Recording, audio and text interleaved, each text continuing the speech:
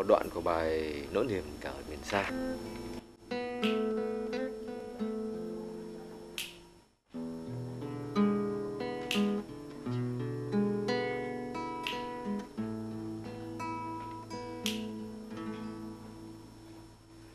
Người ở miền xa, chỉ khi mưa ngồi nhớ quê nhà, nhìn lại ngày qua, ôi xanh rêu đời xứ lạ con tim bật khóc, con tim muốn quay về. Con tim thổn thức, con tim muốn bay về. Này chị này anh, chị tha phương thì nhớ quay về. Này, mẹ này em, cho con xin về vùng đất mẹ. Con mơ từng hạt hạt mưa rơi trên đất nước mình con yêu từng hạt. Hạt mưa rơi trên đất nước mình.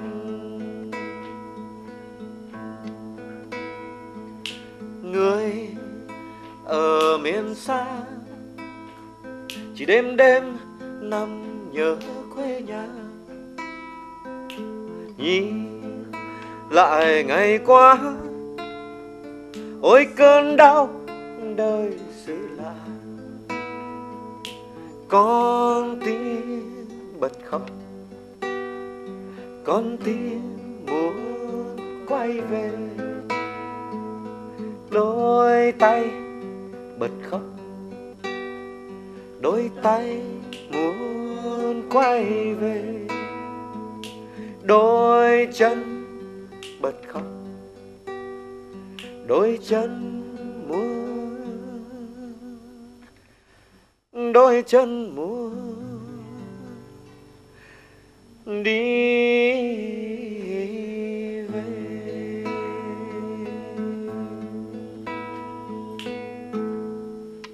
Phạm và hình như anh Tuấn còn biết rằng là à, Ngọc Phạm không những là một ca sĩ trong nhóm Jimmy Band mà còn là một à, vú nuôi là một à, chị chị à, tức là chị cả ở trong nhóm thì không biết là vai trò của Phạm ngoài việc ca hát trong Jimmy Band thì những cái mà anh em đã dành những cái danh xưng đó cho Ngọc Phạm Ngọc Phạm có thấy đúng không ạ?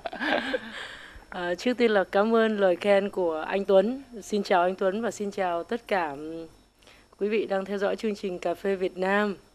À, giống như mọi người à, mới vừa biết, à, tôi là ca sĩ nữ và thành viên duy nhất nữ trong ban nhạc à, Jimmy Band. Thì ờ, cái tên nó là tên thân thương khi mà anh em đặt cho Phạm thôi. Ờ, vú nuôi hay là má năm gì thì Phạm nghĩ là tại vì à, giống như là mình chơi thân với nhau thì mình hay đặt cho nhau một cái nickname gì đó dễ thương với nhau thôi. À, tại vì mình à, ngoài việc hát thì còn à, lo lắng cho anh em trong những chuyến đi xa nữa cho nên tạm gọi là như thế Thì bây giờ anh Tuấn muốn hỏi anh Jimmy một câu nữa là anh có bao giờ mà thích ngồi sáng tác trong cái không gian như thế này không? Một quán cà phê chẳng hạn. À, thích chứ là tại vì à, à, nói thực sự mà nói để mà tìm được một cái không gian cho mình cảm thấy có sự yên tĩnh để mà mình có thể là à, nghĩ ngợi rồi có được cái cái cái cái, cái cảm xúc để mà viết ra một bài hát thì thực sự mình rất là thích đó là phải nói rằng là không thể nào mà uh, không hiểu có thể là những người nghệ sĩ nhạc sĩ khác thì họ có thể cần điếu thuốc hay là có, có thể như bác Trịnh thì cần ly rượu nhưng mà riêng về cả riêng về Nguyễn thì không có ly cà phê thì chắc là một vấn đề rất là lớn Vậy thì có tác phẩm nào ra đời mà đã có dính dáng gì tới cà phê chưa? có những bài hát như là tưởng đã phôi pha rồi có những bài hát để nói lên rằng là mình ngồi đấy là phố nhỏ tôi chờ Rồi còn đây nỗi nhớ trong những bài hát của mình hầu như là đề cập tới cà phê hơi nhiều nhưng mà tới bây giờ vẫn chưa được ờ, hãng cà phê nào lưu ý đến những để mà bo cho cái gì hết cả. vậy thì à, em được biết rằng là anh rất là thích uống cà phê. Một ngày anh uống bao nhiêu cự? Mình ờ, rất là uống nghĩa là phải phải nói rằng là không có cà phê không được.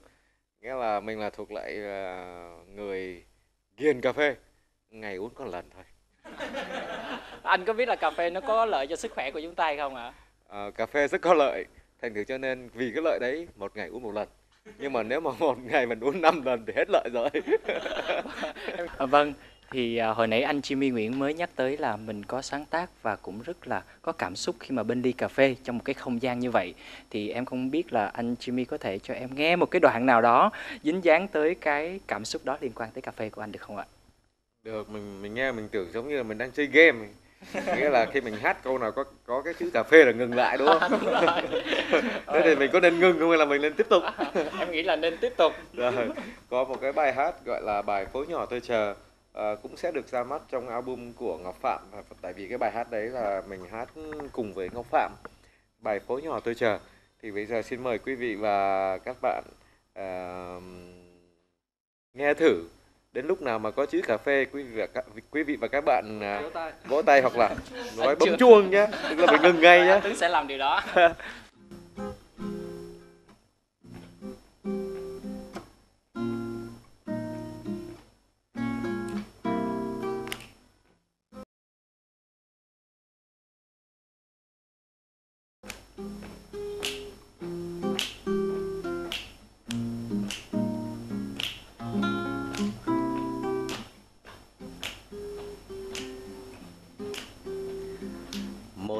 ngày qua phố nhỏ. Ly cà phê vắng em rồi. Người yêu ơi, người yêu đã đi để tôi ở lại trong nỗi nhớ. Giờ ngồi xem phố nhỏ. Ly cà phê vắng anh rồi người yêu ơi, người yêu ở đâu biết chăng phố nhỏ tôi chờ. Một giờ lại qua, một giờ thiết tha, buồn nào lại đến mênh mông. Một giờ đợi mong, một giờ trống không. Tìm hoài mà sao vẫn thấy xa xăm. Đời mình ôi sao trong gió tôi đã nói yêu em bằng con tim khờ dại, nhỏ bé. Tôi vẫn nói yêu anh, dù em giờ đây bỏ phố em đi không về nữa. Tình yêu đó đến bây giờ là tình yêu tôi vẫn mãi mong chờ, dù đôi chúng ta hôm nay không còn nhau.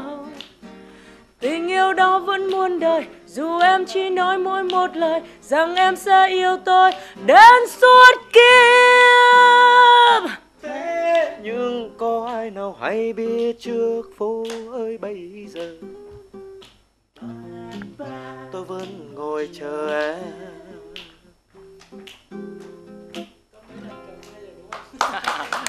Vâng, chương trình Cà phê Việt Nam rất cảm ơn anh Jimmy Nguyễn và Jimmy Ben đã nhận lời tham gia trong chương trình Cà phê Việt Nam kỳ này. Hy vọng với sự đoàn kết và thương yêu của nhóm, nhóm sẽ ngày càng phát triển hơn nữa trong con đường sự nghiệp.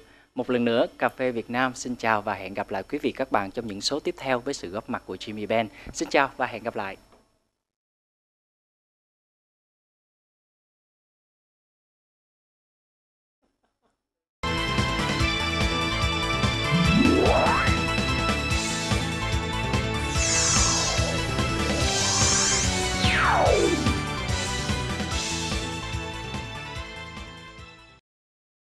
Quý vị và các bạn quay trở lại với chương trình Cà phê Việt Nam. Thưa quý vị và các bạn, có khi nào các bạn tự hỏi rằng là tại sao những ai đã từng thưởng thức cà phê đều ngày càng yêu mến anh chàng cà phê này không ạ? À? có nguyên nhân cả đó. Bây giờ thì anh Thơ mời quý vị và các bạn cùng theo chân anh Tuấn gặp gỡ bác sĩ Thanh Hải, hiện đang là phó giám đốc của bệnh viện Đa khoa Thủ Đức, à, sẽ cho chúng ta biết thật nhiều thông tin lý thú xung quanh lợi ích của anh chàng cà phê này nhé. Xin chào bác sĩ. Thưa bác sĩ, hiện nay có một số thông tin cho rằng cà phê còn có một số tác dụng hết sức quan trọng đối với lá gan của chúng ta. Vậy không biết vấn đề này thực hư như thế nào thưa bác sĩ? Ờ, chào bạn Tuấn. À, cà phê là một cái thức uống quen thuộc hàng ngày đối với chúng ta. Trên thực tế thì ờ, cà phê đã xuất hiện hơn cả ngàn năm nay rồi và chúng ta dùng nó hàng ngày mỗi ngày. ngày nay nó có nhiều công trình nghiên cứu cho thấy rằng cà phê có nhiều tác dụng có lợi đối với cơ thể. À, mới đây thì một cái công trình nghiên cứu của các nhà khoa học ở viện à, Neri ở Italia thì cho thấy rằng nếu mà chúng ta dùng trên 3 tách cà phê một ngày thì sẽ giảm tỷ lệ ung thư gan, giảm nguy cơ ung thư gan. Uhm, cái công trình nghiên cứu này dựa trên 10 thí nghiệm mà đã thực hiện ở Nhật và ở châu Âu thì cho thấy rằng à, nếu chúng ta uống trên 3 tách cà phê một ngày thì chúng ta giảm được tỷ lệ ung cái nguy giảm được cái nguy cơ ung thư gan là đến 55%. Nếu chúng ta dùng dưới 3 tách một ngày thì giảm cái tỷ lệ nguy giảm cái nguy cơ ung thư gan là 30 31%. À, như vậy thì cho thấy rằng à, nếu mà chúng ta dùng cà phê với một liều thích hợp thì sẽ có rất có lợi đối với gan. Ngoài ra cũng có nhiều công trình nghiên cứu cho thấy rằng trong cà phê nó có những cái chất hợp chất mà có thể ngăn ngừa những enzyme gây ung thư gan. Còn đối với sức khỏe của người già thì cà phê có tác dụng hỗ trợ sức khỏe của họ ra sao thưa bác sĩ? Ờ, đối với người già thì ờ, chúng ta biết là thông thường thì người già minh mẫn vào buổi sáng và buổi chiều thì trí nhớ giảm sút đáng kể. À, trong cà phê đó nó có cái caffeine à, kích thích sự minh mà minh mẫn và vì vậy nó có khả năng là tăng cường trí nhớ và giảm sự mệt mỏi. À, như vậy thì nếu mà người già dùng cà phê với lượng thích hợp thì có khả năng là ờ, tạo sự minh mẫn cho họ, ờ, giảm sự mệt mỏi cho họ. Vị và các bạn, hy vọng là với những thông tin lý thú vừa rồi đã củng cố thêm cho quý vị và các bạn niềm tin để mà thưởng thức cà phê. Còn bây giờ mời quý vị và các bạn cùng theo dõi phần tiếp theo của chương trình với rất nhiều những phần quà hấp dẫn đang đợi quý vị và các bạn. Quý vị và các bạn có 3 phần quà hết sức thú vị, mỗi phần quà sẽ là một bản nhạc được thu âm trị giá 1 triệu đồng wow. tại phòng thu của hãng phim Sơn An tại địa chỉ số 31 Xuyệt 2, phường 4, quận Tân Bình, thành phố Hồ Chí Minh dành cho ba vị khán giả nào có những tản mạn, những ký ức, những kỷ niệm nào thật là khó quên tất nhiên là liên quan đến cà phê rồi và những bài viết hay nhất trong tuần chúng tôi sẽ chia sẻ đến với quý vị qua chương trình Cà phê Việt Nam và được đăng tải rộng rãi trên website worldwideweb.cafevietnam.com.vn và xin mời quý vị và các bạn hãy đến đón theo dõi và tham gia thật nhiệt tình nhé. Còn bây giờ chúng tôi xin chào và hẹn gặp lại.